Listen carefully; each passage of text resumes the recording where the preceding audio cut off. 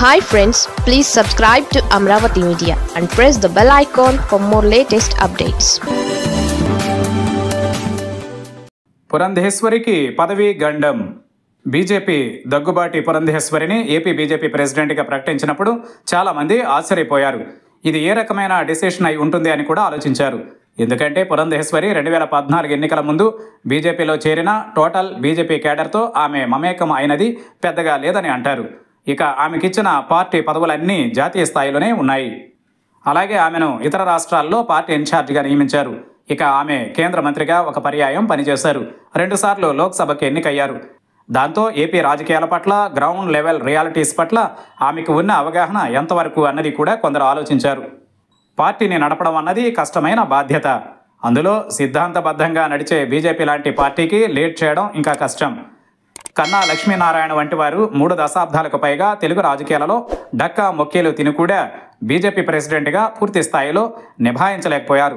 ఇక ఆర్ఎస్ఎస్ నుంచి బీజేపీలోకి వచ్చి నాలుగు దశాబ్దాల పాటు పార్టీకి సేవ చేస్తూ వచ్చిన సోము వీర్రాజు వల్ల కూడా బీజేపీ ప్రెసిడెంట్ బాధ్యతలు పెద్దగా సాధ్యపడలేదు అంటారు. బీజేపీ విషయం చూస్తే పొత్తుల పార్టీగా ఉండడం వల్ల వివిధ సందర్భాలలో టీడీపీతో పొత్తు పెట్టుకొని ముందుకు సాగడం వల్ల ఆ పార్టీలో ప్రో బీజేపీ వర్గం ఉందని అంటారు. వైసీపీ అధికారులకు వచ్చాక ఆ వైపు వారి మీద ఎంతో కొంత అభిమానం చూపేవారు ఉన్నారని చెబుతారు. వీటికి మించి ఆది నుంచి బీజేపీలో ఉంటూ పార్టీ కోసం ముందుకు సాగే అసలైన కేడర్ కూడా ఉంది. ఇలా వర్గాలను అన్నింటినీ కోఆర్డినేట్ చేసుకుంటూ పార్టీని ముందుకు నడిపించడం బిగ్ టాస్క్.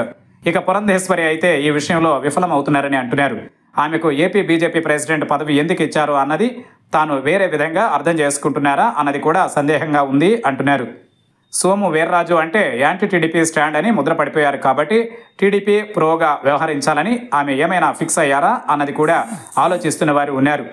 అయితే బీజేపీ జాతీయ పార్టీ పొత్తుల విషయం ఎన్నికల వరకు తేల్చదు. ఈలోగా పార్టీని సొంతంగా బలోపేతం చేయడానికే సారథులను నియమిస్తారు. ఒకవేళ పొత్తులో ఎక్కువ సీట్లు డిమాండ్ చేయడానికైనా పార్టీ బలంగా ఉండాలి కదా అన్న మాట ఉంది. కానీ పార్టీని బలోపేతం చేసే విషయంలో పురంధేశ్వరి దృష్టి పెట్టడం లేదని అంటున్నారు. ఆమె టీడీపీకి అనుకూలం అన్న ముద్రను చాలా తొందరగానే వేయించుకున్నారని అంటున్నారు. దానికి కారణం ఆమె నందమూరి వారి ఆడపడుచు కావడం అయితే ఆమె ప్రెసిడెంట్గా ఉన్న టైంలోనే చంద్రబాబు అరెస్ట్ కావడం మరో పరిణామం. ఇలాంటప్పుడే బ్యాలన్స్డ్గా ఉంటూ పార్టీని ముందుకు నడిపించాల్సిన చిన్నమ్మ తడబాటు పడుతున్నారని అంటున్నారు. ఇక ఆమె ప్రసంగాలన్నీ మేధావి వర్గానికి పరిమితం అవుతాయే తప్ప పార్టీ జనాలకు సాదర జనాలకు అట్రాక్ట్ అయ్యేలా లేవంటున్నారు. ఈ నేపథ్యంలో ఆమె వల్ల ఏమీ ఉపయోగం లేదని పార్టీలో అసలైన బీజేపీ నేతల నోట వస్తోంది.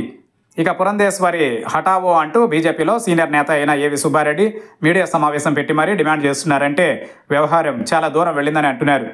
ఆమె కేవలం తన మరిది గారి కోసమే తాపత్రయపడుతున్నారు. టీడీపీ బాగు కోసమే చూస్తున్నారు తప్ప బీజేపీ కోసం కాదనే ఆయన మండిపడ్డారు. స్కిల్ స్కామ్ కేసులో చంద్రబాబు అరెస్ట్ అయితే పురంధేశ్వరి టీడీపీ కంటే ఎందుకు ఆత్రపడి ఖండించారని కూడా ఆయన నిలదీస్తున్నారు.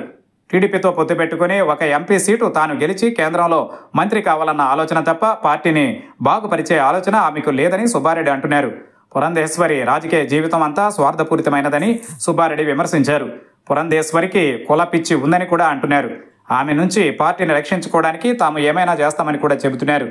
మొత్తానికి చూస్తే ఏవి సుబ్బారెడ్డి బయటకు వచ్చి అంటున్నారు కానీ చాలామంది బీజేపీ నేతల మనోభావాలు ఇవే అని అంటున్నారు. ఇక కేంద్ర నాయకత్వం కూడా ఆమె పనితీరు పట్ల అసంతృప్తిగా ఉందని అంటున్నారు.